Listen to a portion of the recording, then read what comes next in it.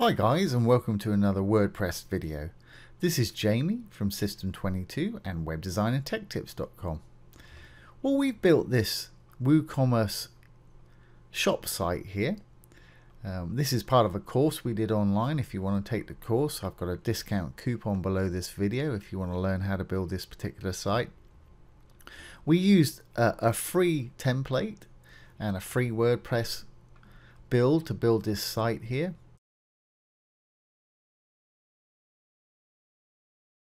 It's a clothing store with all kind of different things and accessories and bits and pieces. What we're going to do in this series of video, we're going to install a plugin called Elementor, which will allow us to build extra pages. We've got plenty of pages on here. But what it's going to do is allow us to build real custom style pages. So follow along with this series and we'll show you how to build some great things using the Elementor plugin.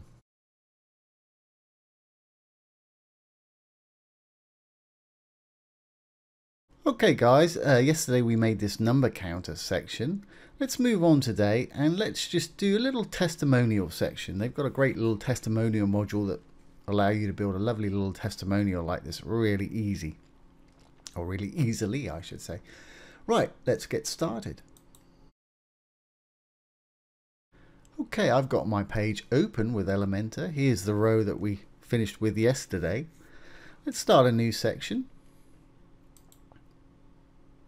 and I'm just going to give it one column.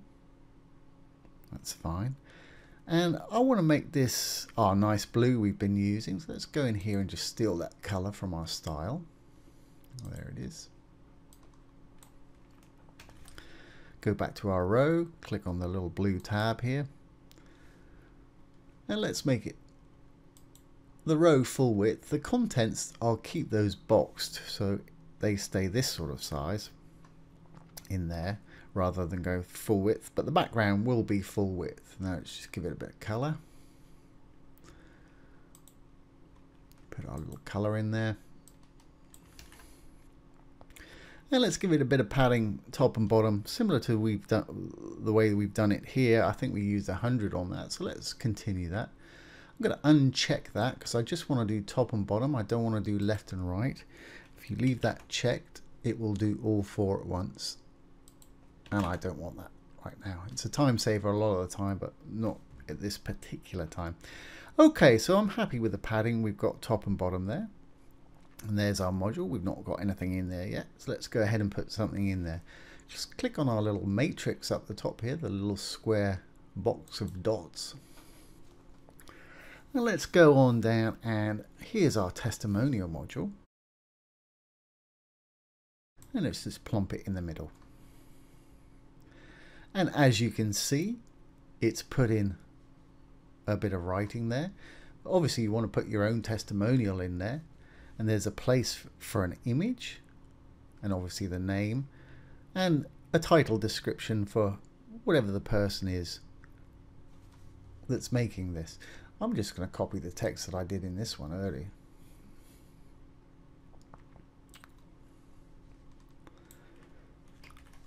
Save you sitting there watching me typing. And let's just paste this into our little box right here. There we go. Now I want to make that whiting. I want to make that writing white. Let's do that. Text color. I'm on the style tab. Fantastic. Size wise, I'm going to leave it exactly as it is. You can hit the typo typography button here and make it bigger or smaller, make the, the weight more or less. I think what I want to do here though is I want to make that all italic because quite often when you see testimonial quotes they're in italics. It used to be the default font for doing testimonials was Georgia italic. I don't know if that's still true.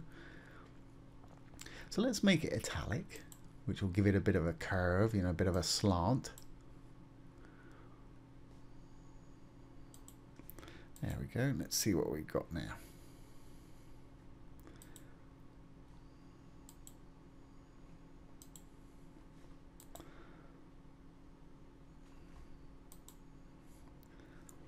Okay, it's got a bit of a a slant. It's a bit of a forward slant there. That's the italic on there. Obviously, you can change it to a handwriting font if you want to, but I'm going to leave that just like it is. And obviously, if you want to change the font, just up here with the family, there's a huge selections of font fonts here you can use, or you can load some Google fonts if you really want to. I'm going to leave it on the default, but do have a play around because you can get some great effects. Okay, moving on, we've got a place for an image here. And as you can see, we're on the Style tab, Image. Here we can set the style, whether it has a border or a border radius or not. Let's go and put an image in there. If we go back to the content, we can just click the little image placeholder there. And let's put this little lady in right there. She'll do fine. I'm not going to upload a new picture just for this. And as you can see, it's put a picture in there. And quite sure. Okay, it's asking you what size the actual resolution of the image is. That's fine.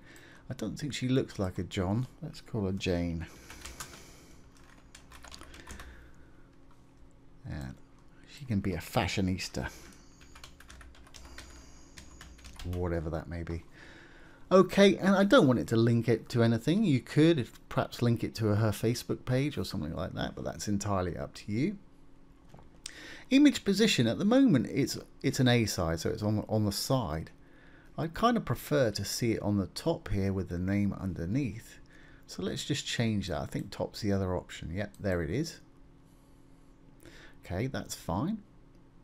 Alignment, center, that's fine too.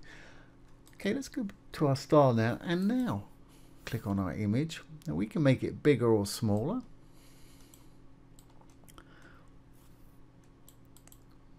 Simply by sliding this or typing in a value here. Let's say 65. There we go, that's fine. You can make it as big as or as small as you want. You can make it 165 if you want.